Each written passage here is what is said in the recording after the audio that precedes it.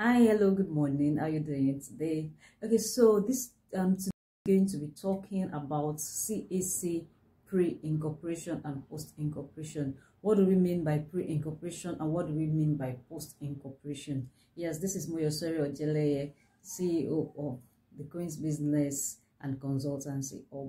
So this morning I'm going to be discussing about CAC Corporate Affairs Commission, what you need to know while incorporating your business and what you need to know after incorporating your business. Oftentimes we have clients and saying they don't even know what it is expected of them after uh, registering their business, their uh, limited companies, their foundation and all of that. So today we're going to be discussing one-on-one -on, -one on that. So firstly, what is um, who is CAC? What, what do they do? What do they offer? What was their own jurisdiction? What, what, are they capable of doing? Cac is corporate affairs commission. It is a federal parastatals which is in charge of your business uh, registration in nigeria. So for any business that wants to uh, you know take its operation in nigeria it has to be registered right here in nigeria. They are the only um, regularized authority who is in charge of registering business uh, businesses, sole proprietors, limited companies, NGO, foundation, associations, and all of that. It is under Corporate Affairs Commission, and that is that on who CAC is they do. Now, another thing we want to talk about is pre-incorporation and post-incorporation. We said, what is pre-incorporation? Pre-incorporation is registering that business, registering your sole proprietorship, your venture, your enterprise, registering your limited company, your private limited by shares, your public company limited by shares, your unlimited companies, and uh, your association, your foundation, your churches, your mosque, your what have you, all the all kind of business here in Nigeria, charity organizations here in Nigeria. That is the process of registering all those um, forms of business, church, and associations it is what they call pre-incorporation services.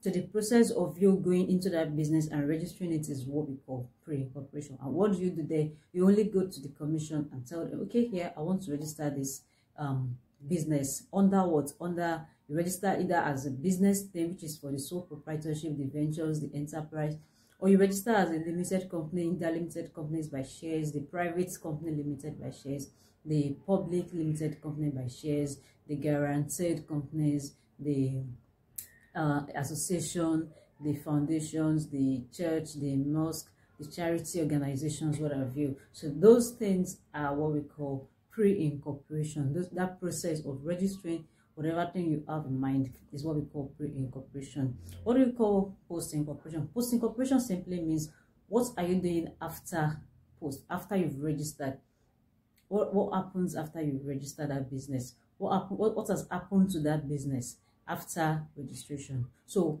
things under post incorporation we have post incorporation services maybe after you've registered that business you want to change your director details you want to increase your director you want to increase your share capital as a form of you know you are growth or as a result of growth as a result of you know management decisions and all of that so you want to have a new share shareholding you want to have a new sharing ratio, you want to bring in more shareholders, you want to bring in more directors. All of that is called post-incorporation. Now, another most important thing I need you to understand is, okay, let me put that as what is expected of you after you've registered your business. Oftentimes we see clients saying they don't even know what to do. And when we tell them about annual returns, they're like, no, we don't know about annual returns. Nobody told us about annual returns. Anyways, if you are going through an agent, I mean, an agent is a chartered accountant, a lawyer, a chartered secretary. If you are going to any of them to register your business, they must have told you that, yes, you need to do annual returns immediately after you um, you've registered your business. That's like one year after you register that business. So annual returns is another service, is, is another obligations and it is under post-incorporation services. So it is another obligation for you as a business owner to take responsibility of that business year in, year out. So as you are filing for your tax returns to the FIRS, to the IRS, you should also have it in mind to file your annual returns to the Corporate Affairs Commissions. What is going to happen if you don't? Yeah. What happens if you don't file your annual returns? You get penalized. You have uh, 5,000 naira uh, penalty fee and that doesn't even include the uh, bank charges.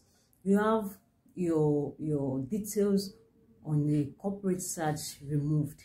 And they're not going to be removed like going there intentionally to remove them.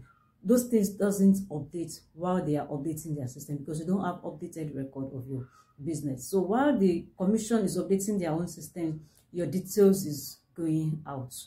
And eventually when you want to do your annual returns, we need to start populating all your um uh, filling all your details again and again. So when you don't file your annual returns as at when due, you get you are at risk of losing your your image online. Remember the search portal that we told you about where you can search for your uh, business name or search for any other name, any other company name. Maybe you are trying to be go into partnership with a new company and you want to just verify their existence. So once you get there and that company is already showing inactive, now then what that signal to you is that that company has not been paying their annual returns and their their uh the informations on the portal is not even active is not even updated they don't even know them and for for for a while now if you do that consistently like more than 20 years or even not up to 20 years sometimes you might realize that that company is going to be delisted. It's not only going to be delisted because you don't pay annual returns it's also going to be delisted because your up your records are not up to date. They can't even verify you. They can't even verify your your place of business any longer. So those are the things you want to you know you want to caution you want to you know avoid as much as possible so now what we tell people about uh, registering that business is that once you register your business have it in mind that your account deals in one year. The following year you have to file for annual returns. And annual returns is due uh, before the sixth month of the subsequent year, the following year after your due date. So now let's assume your, your account is due this year, January 2023. So your annual returns is expected to be filed January 2024. Let's assume your business um, due date is December 2022 so what that means is that you're expected to file for 2023. Now you can't file for 2023 until the end of 2023.